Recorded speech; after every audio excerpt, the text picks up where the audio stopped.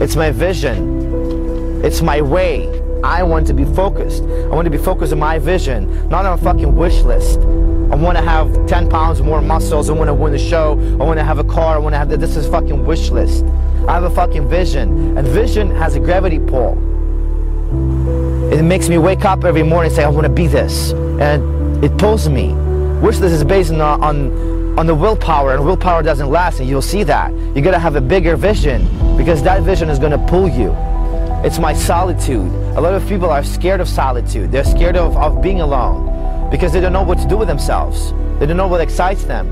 They don't, they're scared. You, you try to find this, this, this, this secret, the secret weapon, the secret knowledge that's gonna fucking make you grow and make you change and make you successful, but everything is hard work. Take that knowledge into the gym and implement it.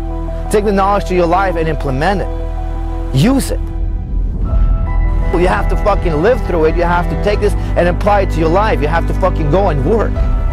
You have to convince yourself that you're great way before you become great because you develop the mindset of the great, the work ethics of the great, and you have to do things that excite you. Without that, you will not discover yourself. Things that excite you are going to get you closer to your purpose. I would never be here if not bodybuilding. I never had enough faith, like, hey man, you know, I can do this, I can, I can, I can, I can do something out of it. But as I told myself, hey man, I don't have enough genetics, I don't have big, big arms, I don't have the big legs, but that's what people tell me all the time. And if I listen to them, I wouldn't be doing this. I wouldn't be, I wouldn't be successful. I wouldn't be climbing this fucking mountain of success, this ladder of success that Arnold's talking about. I wouldn't be doing this. I would be fucking sitting, hiding, and not doing shit. And this is not how it works. And of course you're gonna feel alone. Because you're gonna do things that other people can relate to. And it's totally fine. It's totally fine to walk this road. Because I've been doing this all my life. And it's not scary at all. You discover you discover peace within yourself.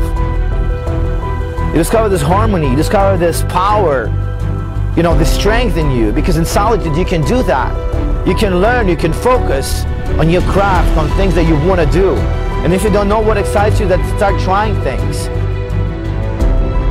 Because that's how you discover. Do whatever you want. That's going to discover yourself.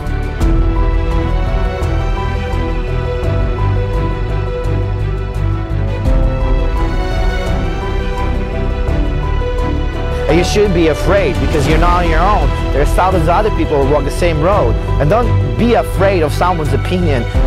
You know, sometimes we're scared of their opinion more, we're scared of failure itself. It has to be that way. That's their reality, that's their life. They don't matter. What matters is you and your experience and your life.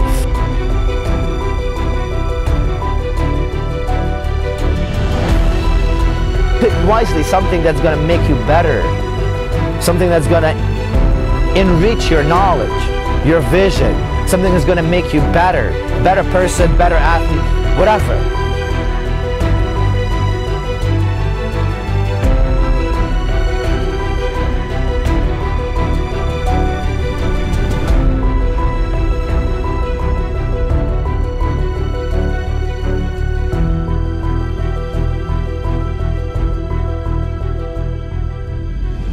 Why can't I do that? If those people did it, I can do it too. And this is how this is the way you should think as well. Don't distract yourself on bullshit. Focus on your own self, on your own goals. Create that vision for yourself for 2017, 2018, and years to come.